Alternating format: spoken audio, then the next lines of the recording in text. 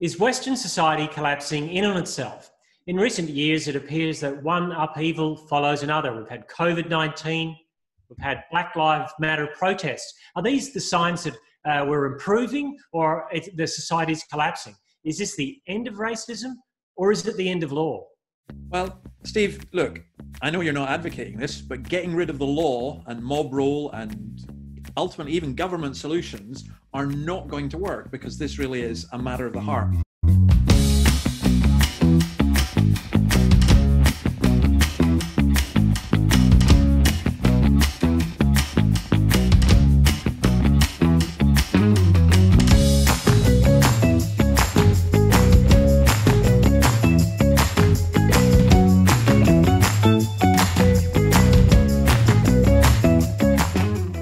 To have a look and then you can give me your reaction to this video. This is uh, a lady responding or answering why in uh, Minneapolis they're going to defund the police. And yes, you heard that right. Listen to this. We have a state action against our police department, which gives us legal mechanisms in the very short term. You know, there's lessons from all over the country, all over the world that we're looking to yeah. um, to take immediate steps while we work toward building the systems that we would need to imagine that that future. Do you understand that the word dismantle or police free also makes some people nervous? For instance, what if in the middle of the night my home is broken into? Who do I call? Yes, I mean, I, I hear that loud and clear from a lot of my neighbors. And I know, and, and myself too, and I know that that comes from a place of privilege because for those of us for whom the system is working, I think we need to step back and imagine what it would feel like to already live in that reality where calling the police may mean more harm is done. And I think even the CNN interviewer was going, What are you actually saying? Because I hear that and that doesn't sound like it's going to end in a happy place. No. And uh, it's interesting because in Chicago, uh, two weekends ago, they've had the worst day of violence 18 people murdered and 18 black lives gone. Uh, and that's what happens when the police have been taken out of things. And the police were just completely overstretched. They had 65,000 phone calls to deal with. Normally it's 15,000 so they're utterly overwhelmed. But get what that woman was saying.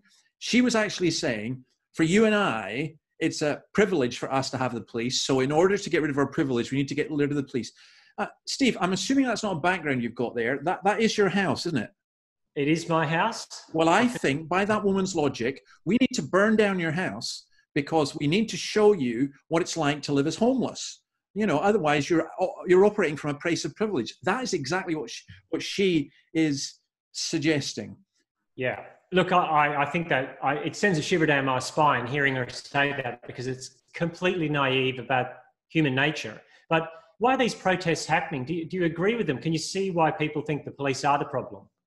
Yeah, because in some instances, unjust policing is a problem. And yes, there are difficulties, but they're not the problem.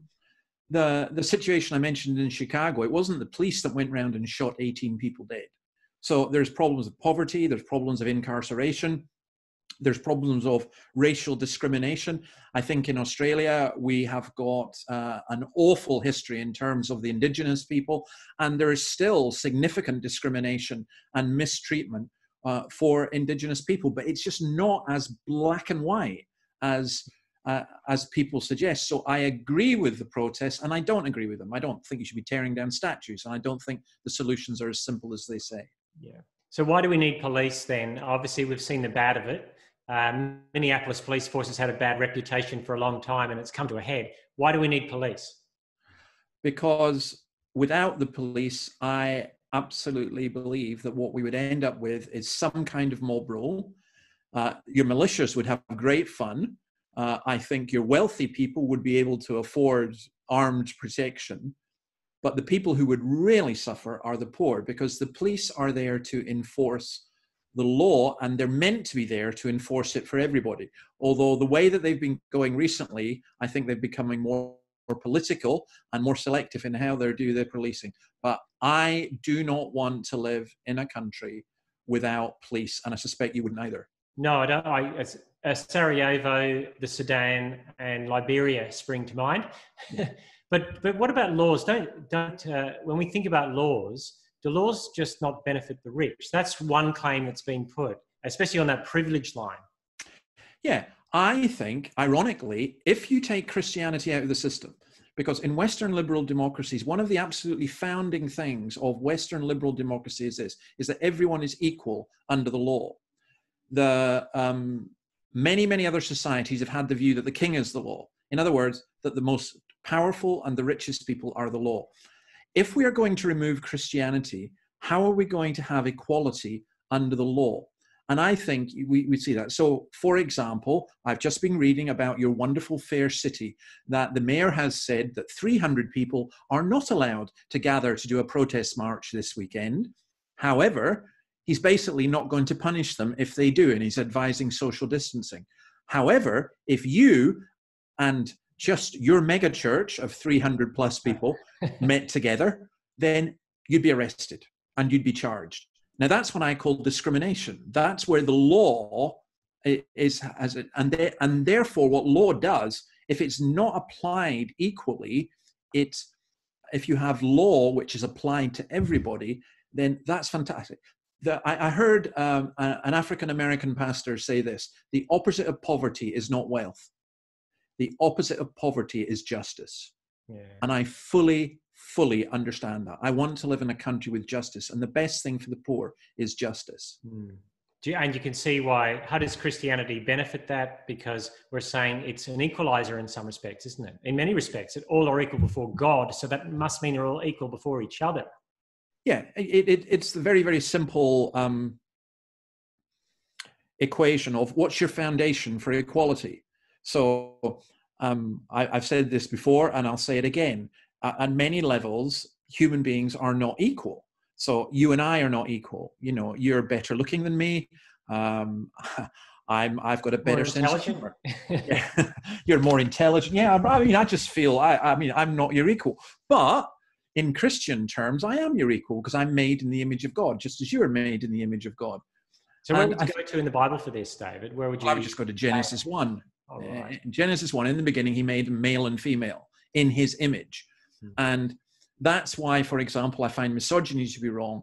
That's why when in the 1920s, science taught us that indigenous people were less worthy, and it did it because they were less developed, less evolved, and people went out hunting indigenous people, literally. That's why people who stood up to that were Christians who believed that all indigenous people are made in the image of God, as are all white people, as are all Chinese people, as are disabled people, you know, whatever. Uh, it's it's a it's a fundamental, it's a foundational thing, and I don't think that uh, a non-Christian view has that foundation. All it has is what is the current zeitgeist. And the zeitgeist at the moment is to shout Black Lives Matter and tear down statues. But that's not a basis for having an equal and just society. No. So that's interesting. We're heading in interesting directions of interesting times. Um, I was going. I think I will mention a passage, Romans one. We don't have time to go into it, but just simply to say that we've become a society that's turning away from what God has said, uh, and we're reaping the fruit of that. I also want to mention a book called Os Guinness's uh, "Free People's Suicide," and I wrote an article on that as well. But next week we're going to do something different. We're going to look at Lord of the Flies. And if you don't know what Lord of the Flies is, then Steve, you go away, read the book, watch the film. I'm sure you do. But we're going to look at that because there's been an interesting new take on that. I'm going to say goodbye, and you can say goodbye from your Western hideout. Yeah, our Western hideout, where we're living on an island with a whole bunch of people with a flag, and we're creating our own laws. Western Australia. All right. God bless, guys. See you.